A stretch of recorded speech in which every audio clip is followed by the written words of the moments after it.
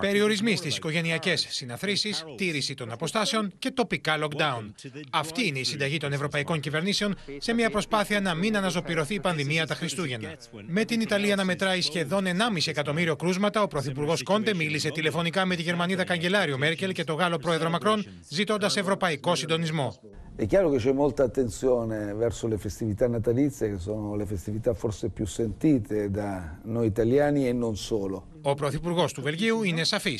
Θα περάσει αυτέ τι διακοπέ των Χριστουγέννων χωρί οικογενειακά τραπέζια, μόνο με τη σύζυγο και τα παιδιά του. Cette période, on fait le lit pour la troisième vague, ou bien on casse cette troisième vague. Στη Γερμανία αναμένεται να παραταθεί το μερικό lockdown έως τις 20 Δεκεμβρίου και οι επικεφαλεί των κρατηδίων θα επιτρέψουν τη συμμετοχή έως 10 ανθρώπων στις οικογενειακές γιορτές. Από την πλευρά της, η Μέρκελ φαίνεται πως θέλει πιο αυστηρούς περιορισμούς στην εορταστική περίοδο, την ώρα που η κυβέρνηση εστιάζει στα εμβόλια. Dafür anzunehmen, dass wir spätestens Anfang nächsten Jahres mit dem Impfen beginnen können.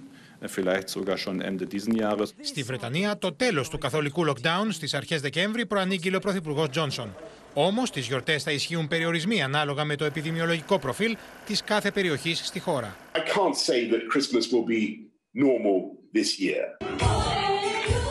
Στην Αλβανία αίσθηση προκαλούν οι εικόνες από το πάρτι γενεθλίων ηθοποιού με καλεσμένους τον πρόεδρο της χώρας, Ηλίρ Μέτα, και τη σύζυγό του, μαζί με άλλους 30 προσκεκλημένους, χωρίς το παραμικρό μέτρο προστασίας. COVID-19 Ελπίδα απέναντι στην πανδημία δίνουν τα νέα από τα εμβόλια. Και η πρόεδρος της Ευρωπαϊκής Επιτροπής ανακοίνωσε σήμερα την έκτη κατά σειρά συμφωνία της Ευρωπαϊκής Ένωσης για την απόκτηση εκατομμυρίων δόσεων εμβολίου. This contract allows us to buy up to 160 million doses of a vaccine produced by Moderna.